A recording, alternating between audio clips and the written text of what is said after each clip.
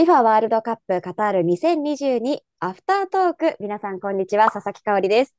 サッカーキング編集部の西です。FIFA ワールドカップカタール2022デイリーハイライト大会18日目の収録が先ほど終了しました。本編はレジェンドスタジアムサッカーキングの特設サイトでご覧ください。ということで、まあ、両方の試合、PK 戦まで行くというね、非常に熱い試合でしたね、石井さん。いやー、本当に長かったですね。長かったよ。いや、本当に試合ともこれ延長すんの ?PK まで行くの？と思いましたそうですね。あの、まあ、1時、あ、ごめんなさい、12時の試合の方は、まあ、逆に延長行ってくれた方が、こう変にこう寝落ちすることとかもなく、そのままのこう流れで中継に行けるっていうところで、まあ、逆に4時の試合は、まあ、もう終わるかな、これアルゼンチン逃げ切りの交代を図ってるなっていうところで、ラストの 本当に、うわー マジか。あの、多分 PK 戦泣く泣く諦めて出社した方もいらっしゃるでしょうね。ですし、あのメッシがもう2点目決めたところで、残りうん。うん15分とか20分ぐらいだったと思うんですけど、はいこのタイミングで寝た方もいたんじゃないかなと思うんですよね。もうちょっとこれでアルゼンチン勝ったでしょ、おやすみって言って朝起きたら携帯見たらびっくりするっていう。PK! 何があったのっていねそうそうそう はいいや、今大会、本当最後まで分かんないから、いや本当に最後まです見なきゃダメですね。はい、なんか長いとか文句も文句というか、なんか言いますけど、結局4年に一度のやっぱお祭りなんで、やっぱもうこれ、もう長く見れるだけ幸せだと思います。うん、たっぷりやってほしい。そうですね、たっぷりやってください。はい。まあ、ただ、ただ、ただ、ただ、はい。ブラジルの敗退をね、ちょっと、この訳というか、私も本当に今年のブラジル期待してましたし、優勝候補に挙げてたので、なんでここで敗退しちゃったのかなっていうのを、まあ、あのね、第二の故郷、ブラジルにお持ちの三島さんにいろいろ伺いたいんですけれども。そうですね。まあいろいろこう現地の報道とかもちょっといろいろ見たりするんですけども、まあそもそもこう言われているのは、まあメンバー選考のところで、まあ20、今回26名選ぶ、あの、まあプラス3名ですね。まあ前回大会から比べると。で、プラス3名を、まあ全部攻撃陣に費やすっていうふうに父監督は、えーはいまあ今年のもう初めぐらいからずっとこう抽選会ぐらいの時からずっとこう言い続けてきて、まあそれこそこうママルティネンリとかジェズースっていうのは、まあ正直結構滑り込みで、うん、こうググッと最後入ったと思うんですけど、まあ、はい攻撃陣の層は自覚しております。厚くなったとは思うんですが、はい。まあ、怪我人とかってアクシデントはた、まあ、もちろんもうこれ読めないことなんで仕方ないとは思うんですが、うんやっぱこうサイドバックの人材がなかなか厳しくなってしまったっていうところ。で、えっと、延長戦に入ってアレックス・サンドロを、まあ、負傷分けで入れて、これを、えーダニーロではなく、まあ、ミリトンと変えたんですね。で、はいブラジルではそこの采配に対するこう意見っていうのは結構僕が見てる限りやっぱ多くて、まあ、ミリトンはやっぱ残しておいた方が良かったんじゃないかと。まあ、結果的にこう、クロアチアの本当あのワンチャンスは右からこう、はいえーブラジルの右サイドからこうえぐられて、まあ、クロアチアは左ですね。まあだからダニーロがちょっとんでついていけなかった印象ですもんね。こう特に対応したのが、えークロアチア18番のオルシッチと、えーうん。交代で入ってきたフレッシュな選手だったので、ちょっと置いてかれましたもんね、ダニーロ。でしたね。まあ、やっぱこうサイドバックって本当左右変わるだけですごく景色も変わるので、本当難しかったとは思うんですけども、まあ、ミリトンはこう右サイドバックとしても計算されていて、9月とかも本当うん右サイドバックでずっとやってたりしたので、まあ、本職はセンターだとは思いますけど、まあ、こう右も馴染んできたっていうところだったので、まあ、ここはちょっと采配で今一つ言われているポイントうんであるんですけど、まあ、そもそもやっぱ本編でも少し話しましたけど、やっはい。ぱブラジルはやっぱ4強ベスト4の壁は結構ここ最近本当高くなってて、まあ、2014年はまあ準決勝で敗れ、まあ、2002年は優勝しましたけど、まあ、それ以外はい直近で言うと、やっぱベスト8終わりがちょっと多すぎるっていうところで。本当にだって長らく決勝の舞台でヨーロッパ以外のチームを見てないじゃないですか。そうですね。まあ、今大会こそは、まあ、南米どっちかは、えー片方のチームに上がってくるかなってちょっと予想してたんですけれども、その一角が落ちたということで。まあ、ブラジル人としては、まあ、先に勝って、まあ、アルゼンチン待ってろと。うん。アルゼンチン来てくれって思ってる人は、まあ、多分国民の大半はそう思ってたというふうに思いますし、個人的にはやっぱベスト8の壁は、あのクロアチアがあの120分やってるってことをチッチ監督があの前日会見で日本、こうね、戦ってくれてっていうところで、まあ、ちょっと相手が疲れてるんじゃないかみたいなこと言ってたのが、僕はちょっと嫌な予感はしてたんですけど、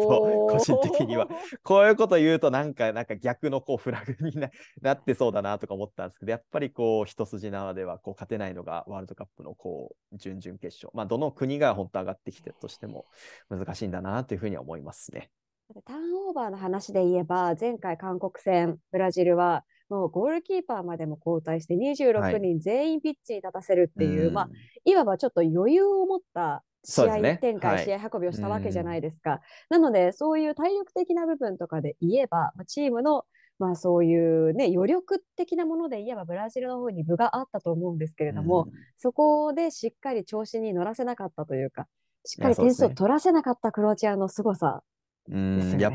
まあクロアチアはこう粘り強さでこうなんか我々も確かに選手ずっと出てたらもちろん疲れると思うし現代サッカーの強度ってめちゃめちゃ高いので、うん、単純にそう思うんですけどやっぱりこうアドネナリンなのかやっぱこの舞台が、ね、彼らをこう突き動かすのか本当わかんないんですけど、うん、ブラジルどう考えてもそういう部分で部があると思いきややっぱクロアチアの延長戦入ってからのプレースピードが正直日本戦の1.5倍ぐらいだったと思うんですよ正直。はい。だったんで、やっぱりね、まあ、モドリッチも最後まで残しましたし、日本戦は途中交代でしたけど、うん、いやけどやっぱりクロアチアはね、こう結構少数性的なね、はい、チームではあるとは思うんですけど、いや本当に粘り強いなと思って、本当すごいチームだなと思いますね。なんかこう、さらにクロアチアは、このベスト8の戦いでギアを一つ上げましたよね。いやそうですね。本当に疲れ知らずでしたし、ね、あの、まあ、確かに、こう、主導権は前半から握れてたと思うんですけど、はい、決定打は正直なくて、アリソンがキャッチするっていうシーンはほぼなかった。っていう中で、本当一撃を決めて、最後 PK で勝つっていう、なんか、ブラジルをこう倒すには、やっぱこれしかないっていうぐらいの、こう、展開だったのかなというふうには思いますね。これ、まあ、次の試合がクロアチア対アルゼンチンになるわけじゃないですか。はい、クロアチアは南米、南米と。続くわけですけど、ねね、これもまたしんどい戦いにはなりそうですけど、分かんないですよね。そうですね、まあ、準決勝までいったら本当何が起こるか分からないですし、まあ、なんか両チームにこう、まあ、メッシが最後とかもありますし、こう日本人視点で言えば、うんうんうん、ね、日本をこう下した、ね、クロアチア、ね、日本人選手とこうやってる選手も多かったりするし、はい、ね、頑張ってほしいって気持ちもあるし、うん、なんかでも本当にシンプルにこう僕、今日ブラジル敗退して、まあ、ブラジルね、あのー、行ってた経験もあるので、好きな国ではあるんですけど、はい、なんかそれ以上にこうフットボールの素晴らしさというか、うん、120分プラス PK で、なんか本当クロアチアに頑張ってほしいなっていう、なんか逆にこう、すがすがしく 思えるくらいの、はい、戦いでしたね。はい、そうですね、なんかこう、やっぱりファンとしては、うん、本当に最後、ホイッスルが鳴るまで、はい、主審が笛を吹くまで、諦めちゃいけないんだなっていう、本当にそうです。こうなんかこうサポーターとしてのこう心理というか、うん、はい、訓示を学び直した気がします。本当にそうだと思います。おっしゃる通りです。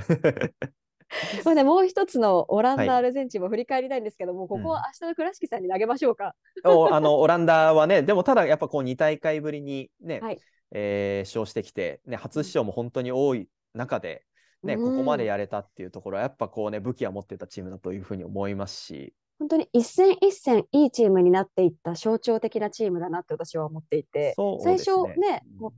ちょっと前線に決定打がないのかなとか、まあそのメンフィス・デパイの負傷とかもあったと思うんですけど、大丈夫かなって思ってたんですけど、どんどん強くなっていくチームでしたね。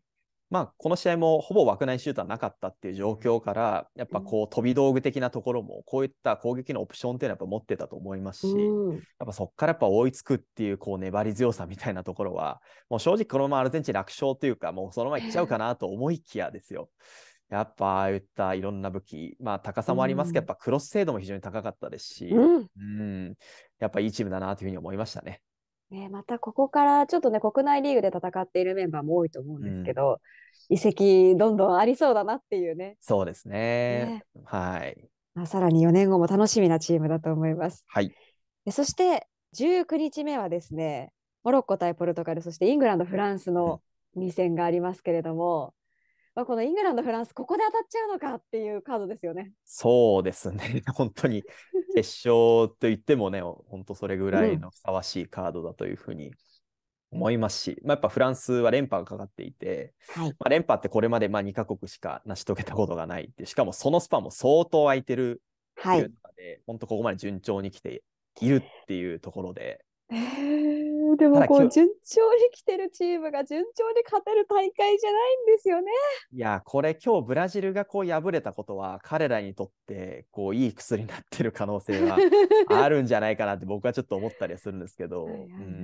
気を引き締め直す一戦だったかも。だったかもしれないですけどね、もともとイングランド相手なんでそんな簡単な試合にもちろんならないですけど、うんうんうんね、内容的にもね、あのまあ、決勝トーナメント1回戦とか見る限り、やっぱ強いなというふうに思いますし、うん、まあ、グループステージもこれまでね、優勝国、ね、ここ3大会連続ですか、あの敗退っていうジンクスとかも覆してきてる、それぐらい強いチームだと思うんで、うん、うん、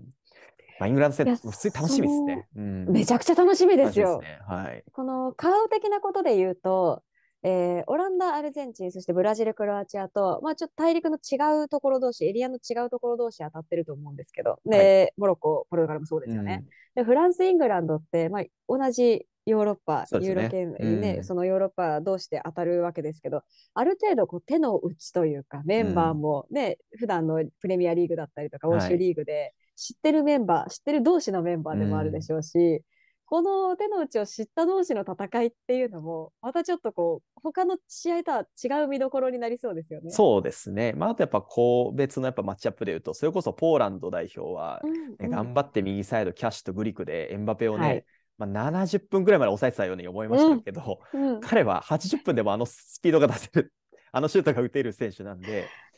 まあ、ここがね、カイル・ウォーカーがね、対面になるんじゃないかなというふうには思いますが、いやでもちょっと今回のウォーカー頑張れると思うんだけどな、どうかな。そうですね、コンディション的にはね、100ではないかもしれないですけど、うん、まあ復帰してね、試合には出れているので、うん、うんまあ彼が先発かなというふうには思いますけど、そうですね、ちょっとここは、まあエンバペと対峙する選手はね、どの選手やっても、基本的にやっぱ用意どんではなかなか勝つ選手はほぼいないので。はい一人でね、対応してっていうことではないでしょうから。まあ、そこをどう抑えるかっていうところと、はい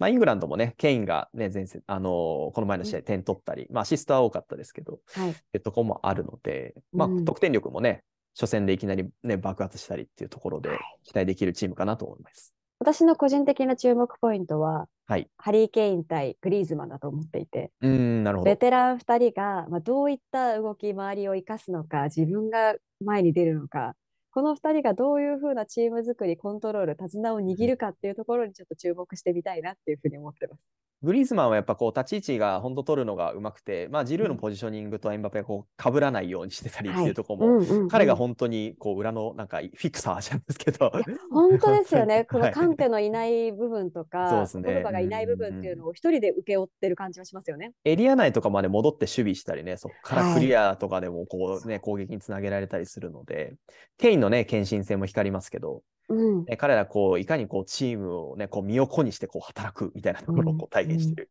いい選手かなと思います。ね、ちょっと皆さん19日も注目してください。はい、一緒に楽しみましょう。はいえー、大会19日目は日本時間12月11日深夜0時、モロッコ対ポルトガルの試合からスタートします。次回も FIFA ワールドカップカタール2022デイリーハイライトとアフタートーク、ぜひご覧ください。それでは皆さん、明日も見てください。さようなら。さよなら。